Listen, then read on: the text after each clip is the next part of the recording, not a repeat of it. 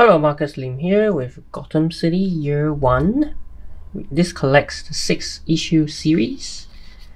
And here they are Gotham City Year 1, Issue 1, 2, 3, 4, 5, and 6. Okay? The cover to issue 1 is also the cover of this hardcover. The series is by Tom King, Phil Hester. And what it does is it's trying to tell the story, the untold story, of the secrets of how Gotham became Gotham. Right? It says uh, the untold story, the fall from grace, the legend that would birth the bat. And that's about to change. the untold story is now told. So this collects, as I said before, six issue saga with an extensive gallery of never before seen artwork from the artist Phil Hester. So it's got um, some extras there. Okay, but yeah, pretty much I would say this is um, best read. This story is best read in one sitting, right? Rather than you know six issues. And so to have this finally in hardcover is really really good. Okay. so let me wrap this. Okay and I'll take the jacket out. That's the jacket. Okay. And oh wow. I think that might be a variant. Okay. And that's the the, the back. Okay. Pretty pretty nice Alright, so let's get into it.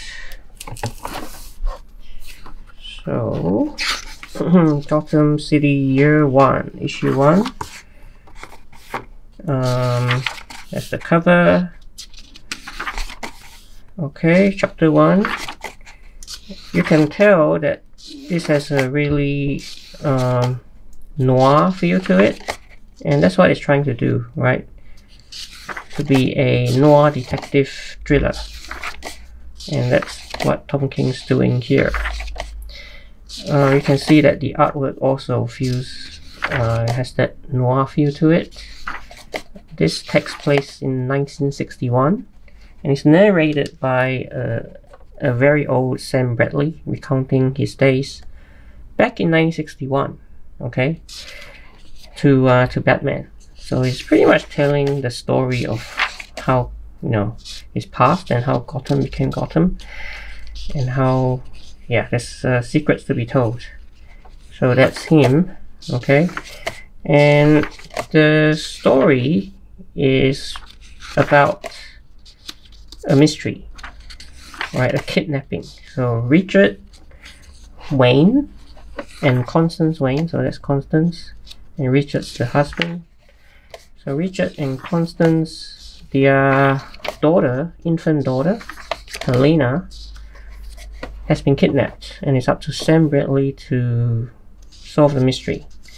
So there's this mystery woman as well, Sue. Okay, like looks a little bit like a precursor to Catwoman. All right, but uh, but this is definitely a story with yeah so that's the infant uh, Wayne. That's uh, that was uh, kidnapped okay? But this is definitely a story with many twists and turns just like any good detective story does. You never quite know like who's really behind everything. Okay um, and amidst it all, right, Tom King tries to explore the themes of moral decay and also prejudice. So Slam Bradley himself is a man of two worlds, I guess, in a sense, because he's half colored as well, right? So, um, so there's that. Um, that's Richard Wayne. Okay. Alright, but when we get to chapter 5, that's where all the uh, plot twists get revealed one after another, and it's almost like you you you you definitely it definitely wants to makes you wanna go back and reread the whole thing, you know, in a in a whole new uh, context because of the twist that's been uh, revealed. And the twist don't end there because there's another twist at the very end as well here, which also kind of suggests that perhaps Bruce Wayne's parentage is not quite what we think it is. And we also see the progression of Richard's uh, chemical factory to eventually evolving into Ace Chemical and if you know Batman, if you're a Batman fan, you know that's where uh, Joker uh, was born, right? So it seems to suggest that you know there's something sinister behind the Wayne family name. And so that's that. So variant cover gallery. So here's some variant covers from year one, number one. From number one another uh, number two. Number two this is also the that one the back cover. And number three number three number four four and then five five and then six six. And then we've got a sketchbook by Phil Hester. Um yeah Slam Bradley doodles Okay. Okay.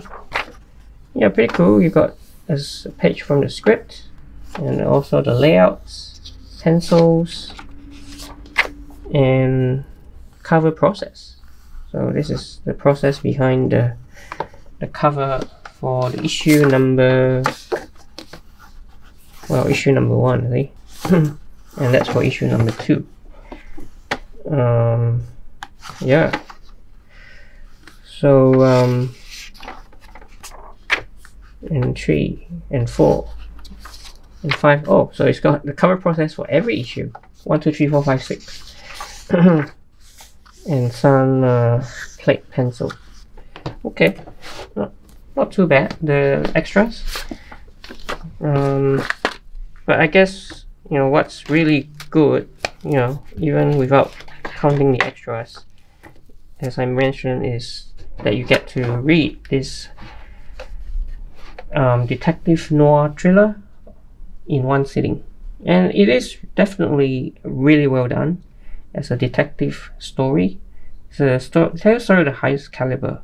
And I guess if it were a standalone story, it would have been way up there. But it's just because it's also tied to Gotham, and I think some fans would take issue with how the Wayne family name has been tainted in a way because of this like a bit of like a revisioning of um, the history. So I don't know. I would maybe preferred it to be more like an Elseworld story. But in any case definitely worth checking out. Gotham City Year 1 uh, the hardcover collection. So hope you enjoyed this video and please like and subscribe and I will see you in another video.